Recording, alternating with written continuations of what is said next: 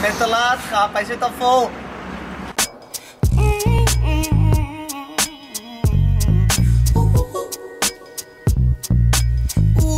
Yes, Lord.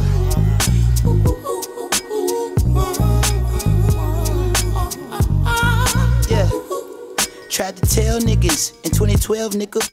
Oké, dus we waren in Delft en we moesten een intro opnemen en die ben ik vergeten. Maar als je een filmpje maakt volgens de regels van het interview, dan moet er natuurlijk een goede en degelijke introductie bij op de plek waar het interview heeft plaatsgevonden. Dat is hier niet het geval. Het interview was in Delft en dit is in de Trouwlaan opgenomen. Zeg ik gewoon eerlijk, ik zit op de blaren, want dat doe je als je vergeet om een intro op te nemen. Maar het is nog steeds 5WH. Derde aflevering met Life Cycle. Hoi, kijkers! We zitten hier op 12 Hoog, Delft. Met een prachtig mooi uitzicht over de Westlanden. Wauw. Beetje mistig vandaag. Kan je wat vertellen over LBC? Waar LBC? Leidse Breakbeat eh, Community, is een, eh, is een initiatief van onze, ehm, eh, ja, laten we zeggen, twee vrienden, eh, van mij en Bart. Eh, op een gegeven moment wilden wij de fanbase van meerdere parties samenbrengen, zodat zij onder, onder één noemer met elkaar eigenlijk konden communiceren via een platform. Dat was toen Facebook, was het mooiste platform daarvoor. Ehm, en we wilden daar eigenlijk ook een eh, krant bij maken. Dus eerst was het de Leidse Breakbeat Courant, eigenlijk het idee. Ehm, later is dat eh, de eh, community geworden, omdat het dus meer op Facebook eh, gericht is. En vanuit daar organiseren wij alle, alle harde vizza's. Kijk, Alle kijk, gruwelijke kijk, shit die in Leiden gebeurt, eh, daar hebben wij wat mee te maken. En om de mensen een beetje eh, wegwijs te maken over wie er allemaal staan eh, die avond, ga ik jou een paar vragen stellen. Ik vind het heel spannend. De wie-vraag. Wil je een serieuze wie-vraag of een bangana wie-vraag? Doe mij een serieuze wie-vraag. Wie inspireerde jou om muziek te gaan maken? Dat zijn heel veel dingen. Is het, vind je het leuk om te weten wie het nu zijn? Of wie het, wie, eh, om het muziek te gaan maken, zeg maar, in het begin geweest? Laten we hem gewoon switchen en nu pakken. Wie Nu. inspireert jou nu?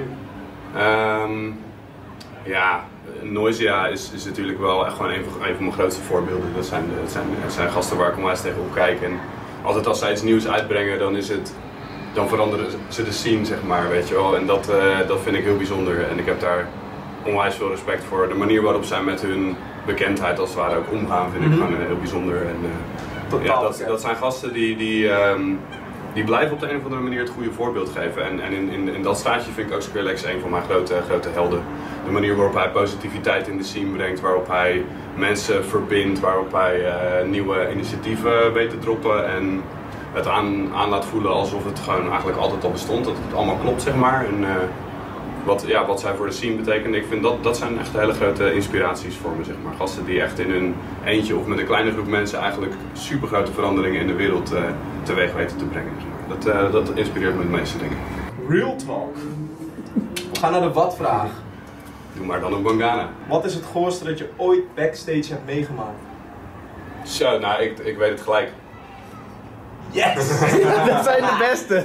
En ik, ik, ik, ja, ik hoop dat, eh, dat zij het niet hebben. Want het, ik denk dat zij hetzelfde zullen zeggen. Maar eh, zij waren er namelijk ook bij, de boys. Ehm, ik was een keer in de Cornbears, als ik het niet vergis, in Delft. We, waren, we speelden, speelden op een eh, undisclosed eh, plek. Ga ik verder niet op in ook. En eh, we hadden net een eh, drie. Ehm, ik was een keer in de Cornbears, als ik het niet vergis, in Delft.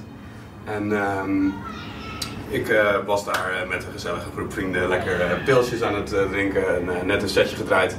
En we denken van, goh, laten wij eens even achter lekker een sigaretje gaan roken. Trekken die deur open en ik krijg eh, zeg maar de anus in van een, eh, van een persoon die iemand anders aan het batsen is. En dat was, eh, ja, die lagen daar gewoon naakt te krikken op de tafel midden in de backstage. En dat was, eh, dat was heel bijzonder. Is dat toevallig een foto van gemaakt?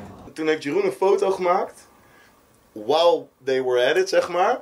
Volgens mij wel. Ja, dit klinkt bekend, dit verhaal, ja. Goor. Oh, ik weet er nog wel in.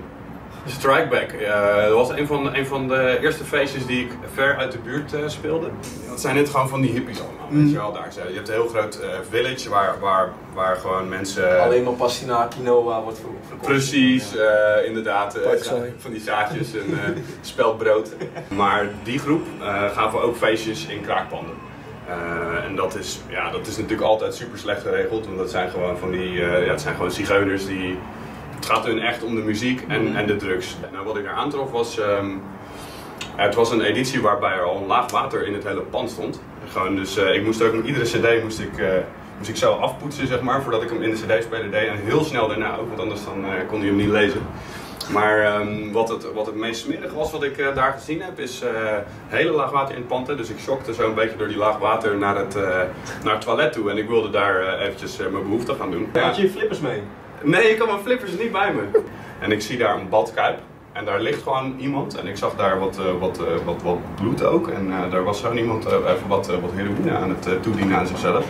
En dat vond ik ook wel echt Wow. onwijs. eh, dat vond ik ook, moet ik zeggen, dat was ik, Baanbrekend. vond ik heel schokkend ook. eh, vond ik echt bizar. Dat snap ik. Waar? Ja, doe nog, doe nog maar zo'n gekke vraag gewoon. Waar schoot jij vroeger je kids in? Je kids in, als in kinderen. Hoe bedoel je dat precies? Ik denk, ik denk dat ik ongeveer begrijp wat je bedoelt, maar is het echt zo'n vraag? Is, is, Ja. is dat de vraag? Ik denk, Ehm, ik denk het wel, als jij denkt dat dat zo is, dan is dat gewoon zo. Waar schoot ik vroeger mijn kids in? Ja. Oké. Ehm, ja, eigenlijk in alles wat ik tegen kon komen. Niemand was veilig voor jouw kids. Een, een laaf in de vloer, eh, God, het- dat eh, maakt allemaal niet uit. Een sleutelgat. Heftig. Natuurlijk, eh, natuurlijk bed een aantal, een aantal sokken, totdat mijn moeder daar minder blij van werd op een gegeven moment. Ja, ja, Die ja. begon dat op te vallen, dat die die Precies. gewoon op een gegeven moment rechtop stonden in de, in de badkamer en zo. allemaal steunkousen. Steunkousen. Eh, de wanneervraag. Wil je een serieuze of een gangbang vraag? Doe maar een serieuze wanneervraag. Wanneer ben jij begonnen met muziek maken? Eh, toen was ik eh 15. Toen ben ik begonnen met muziek maken. En wat was het toen? Wat voor muziek? Drum bass. En wat is het nu? Ehm bass. Met drums. Ja, kijk.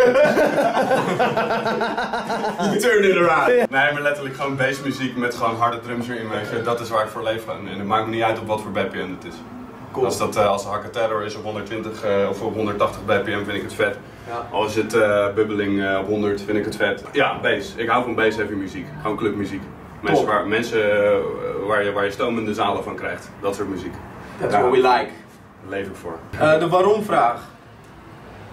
Ehm, waarom? Ik durf bijna niet meer, maar doe maar een Bangana vraag. Waarom zie je zoveel mannen in Nederland zonder harem? Dat is een hele goede vraag. I know. Ik denk dat wij, eh, ik denk dat wij gewoon nog een beetje, eh, een beetje een revolutie moeten doormaken hier zo. Dat het gewoon goed is als jij gewoon eh, 70 vrouwen thuis hebt zitten. Dat het gewoon, dat het helemaal niet gek is. Eh, zoals Typhoon het zegt, het geeft ons kleur, het maakt ons groter. En eh kijk, vind ik hetzelfde geldt voor de harem. Dat is gewoon iets, wat daar moeten wij nog een beetje aan wennen. Maar ik denk dat dat, eh, kijk, ik wil daar best, eh, wil daar best mee helpen. Ehm, maar ik denk, ik denk dat het gewoon een kwestie van tijd is om heel eerlijk te zijn. Ik denk dat dat gewoon, eh, kijk, over tien jaar dan eh, zie je ze overal. Ja, ik denk dat het toch wel dat het, dat het nu nog te vroeg is in de tijd. Weet je, ik denk over een paar jaar, omdat er toch ook nu de culturen wat meer gaan samensmelten. Ik denk dat over een paar jaar dan, dan is dat heel normaal. Nice. Dan eh, kun, je, kun je niet om je heen kijken en je ziet alleen maar, eh, alleen maar harems. Zou de wereld mooier zijn? Ik denk dat het mooier is, alleen als we vrouwen ook toestaan om harems te hebben. En gaat dat lukken binnen 10 jaar? Zeker, absoluut. hey, de hoe-vraag. De laatste. Ja, doe maar een serieuze vraag. Ik ben er wel in een serieuze moed. Hoe kijk jij aan tegen de samenwerking met uh, Sobiao back-to-back? Oh man, dat vind ik echt heel vet. Dat vind ik echt super cool. Ik was eh, zeer, eh, zeer verheugd toen, eh, toen Dirk me dat vroeg bij de Kompas barbecue.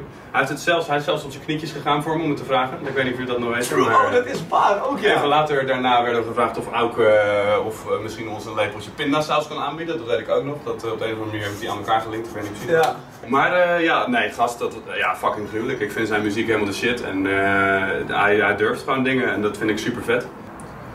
We zijn allebei wel, denk ik, eh, DJ's die niet heel erg veel voorbereiden, maar, maar, maar wel het leuk vinden om, ehm, om, om dingen op het moment te laten ontstaan. Eh, we, hebben, we hebben wel wat tunes geselecteerd natuurlijk, dus ik heb een beetje inzicht in zijn eh catalogus en hij en de mijne. Maar ehm, we hebben geen set voorbereid of zo, dus ik heb geen idee of... Weet je wel, misschien, misschien gaan we de dubstep kant op, misschien gaan we de hiphop kant op. Ik weet bijna zeker dat het een mengeling ertussendoor Mhm. wordt, maar hoe snel dat gaat switchen en of we nog naar andere genres gaan, ja, hoe- hoeveel eigen werk we kunnen draaien. Ja, precies. Ik ga in ieder geval, lijkt het me heel leuk om zoveel mogelijk eigen werk te draaien. En het zou heel vet zijn als het lukt om die tracks ook daadwerkelijk te mashuppen. Dat lijkt me dope. Als we echt gewoon goede double drops met onze eigen tracks samen in elkaar. Want dan heb je denk ik En- een goede back-to-back, weet je wel. Dan denk ik Ja. dat het echt tof is.